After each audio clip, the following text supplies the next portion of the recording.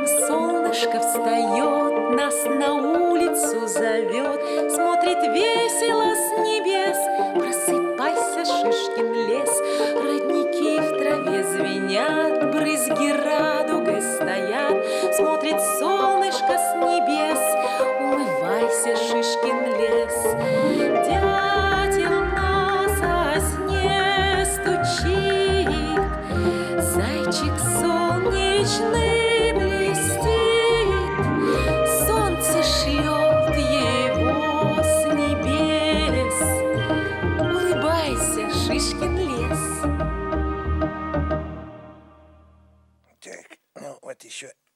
сюда.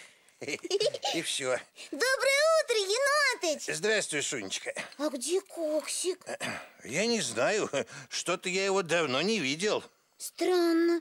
И куда он мог убежать? Ну, э, как-то куда? В лес за весенними подарками. Здравствуй, Коксик. Ну вот, доброе утречко.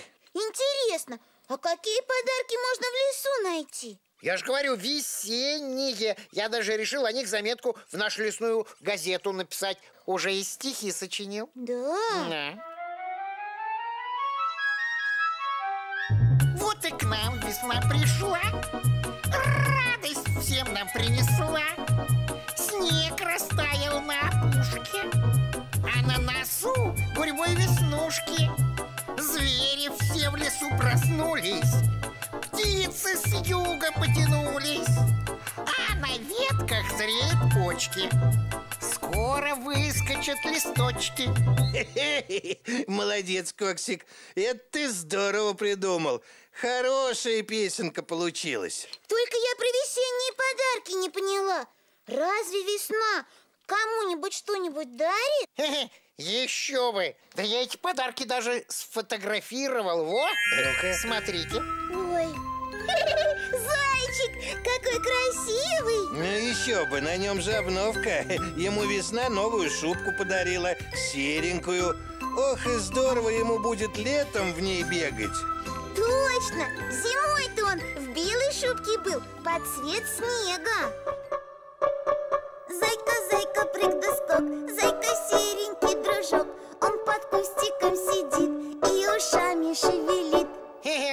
правильно подмечено.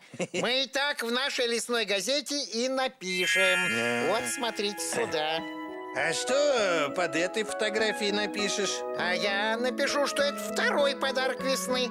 Она белочке новую сосенку подарила. Как это? Ну, очень просто. Видишь, вот из сосновой шишки, которую белка потеряла, зеленый росток появился. Вырастет росток большущий, сосной станет. А на ней новые шишки появятся. Соберет их белочка и в кладовку положит. Будет у нее запас на зиму. А что? Отличный подарок.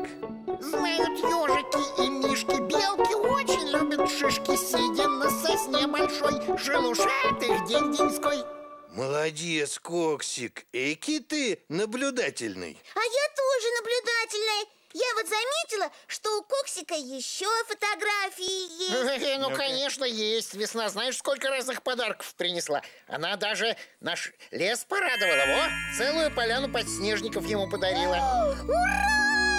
Теперь наш лес самым красивым станет. Ну, правильно, правильно Если, конечно, мы эти подснежники рвать не будем Вот, правильно говоришь, Коксик. А то если ты, Коксик, сорвешь один цветок, да, например, Шуня букетик соберет, да и Зубок еще парочку, в лесу никакой красоты не останется. Почему? Потому что на другой год уже никакие подснежники на этой поляне не вырастут. Шунь, ты разве не помнишь? Нам об этом совсем недавно Антон говорил Ой, действительно говорил. А я забыла. Так, понятно. Значит, об этом тоже в нашей лесной газете написать надо. Правильно. Пусть все помнят. Подснежники беречь надо. Весну обижать нельзя. Конечно, она ведь знаете, какая добрая. Она даже мне подарок сделала. Тебе? Да не может быть. Может, может. Она мне мою любимую машинку подарила. Я думал, я ее потеряла, а она, оказывается, просто под снегом лежала. Весна пришла, снег растопила, И вот она, моя любимая машиночка. Ну, чем не подарок? Настоящий подарок Да уж, я вот тоже недавно машинку отыскал. Зубка тоже всю зиму под снегом пролежала. А, ну, конечно, мы же вместе играли. Ну, раз весна такая щедрая, надо и нам ей подарок сделать. Как это? Какой? Э, домики смастерить для ее гостей, для весенних птиц. Вот один уже готов. Вот это да! Ты молодец, енотыч! Коксик, а давай мы про нашего енотыча тоже заметку в газету напишем, а? Да Ой, ну давай. что вы, что вы, друзья, лучше помогите мне еще скворечники построить. Да, конечно, поможем! Это ведь такое интересное дело! Ну еще какое интересное. Все решено, принимаемся за работу. А заметки в газету потом будем писать. Все равно надо тетушку Матильду дождаться, чтобы она помогла все правильно записать. Точно! За работу! Ага. Ну подождите, подождите, сначала с ребятами давайте попрощаемся. А, До свидания, мальчики и девочки! До встречи. Всего доброго, друзья! Время быстро пролетело, утро сказкой прозвенело, улыбнулось облакам. Новый день приходит к нам.